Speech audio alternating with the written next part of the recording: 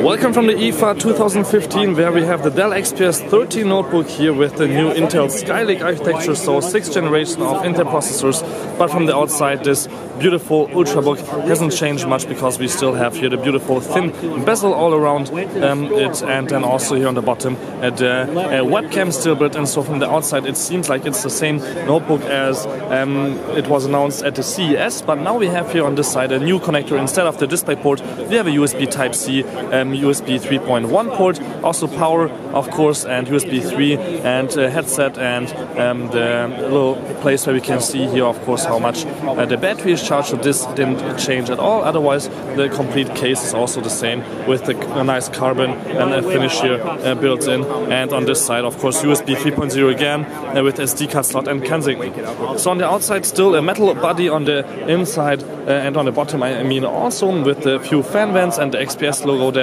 so I don't have to show you that. I have an upgrade um, tutorial video anyhow about this notebook, so that's not that interesting. For you guys, the starting price will be probably the same as last year, and it will come out in a few um, weeks here with the new Skylake architecture here um, by Dell. So thank you much for tuning in. Don't forget to subscribe. My name is Balazs, and this was the brand new Dell XPS um, 13 late 2015 model.